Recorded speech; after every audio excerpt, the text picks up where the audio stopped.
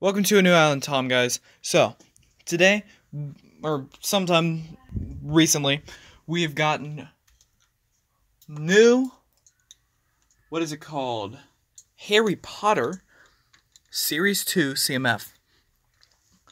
Now, there are only 16 characters, but eh, it's not as much as 22, but still pretty good. We probably will, you know, there's no Fantastic Beasts characters, so, you know, I kind of get it. That makes sense. You know, you know, you know, you know, you know. Yeah, yeah, yeah, yeah. Okay, I don't know where that came from or why that came from, wherever it came from, but why? Ugh. We'll cut in post. anyway, so we've only gotten the front cover, the ba- the blind bag, right? The, the bag art. So let's look at it. On the cover, there is Professor Sprout with what looks like a new type of mandrake. Not the same mandrake with like the new carrot piece, but like a completely different mandrake.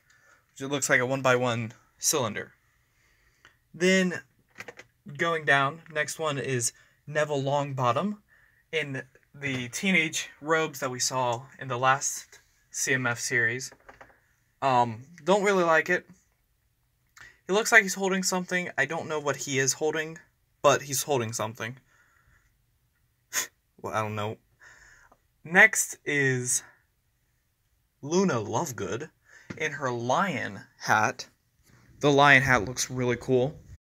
Her is Bellatrix Lestrange in some Azkaban, Azkaban, Azkaban attire, which begs to ask, are we going to get Bellatrix Lestrange not in Azkaban attire? Which, hopefully.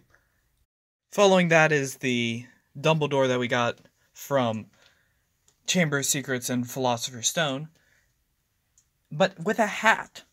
Funky, funky, funky fresh. He also has a fox as a piece, not a buildable fox, which kind of. You know.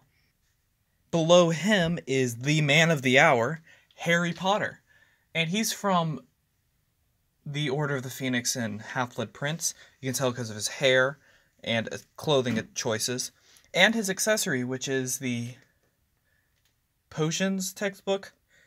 I forgot what it's called. It's like modern or potion making advanced or something. Next is Kingsley Shacklebolt. We can't see much besides the fact that it's Kingsley Shacklebolt.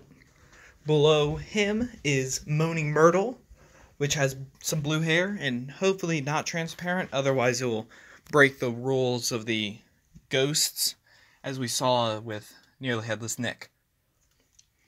Last but not least is Griphook from Deathly Hallows, which looks really cool.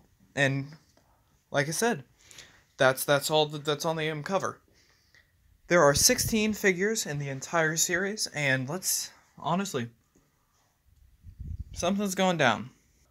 Personally, I'm going to collect all of them, but not after I get the Clock Tower or Yule Ball set.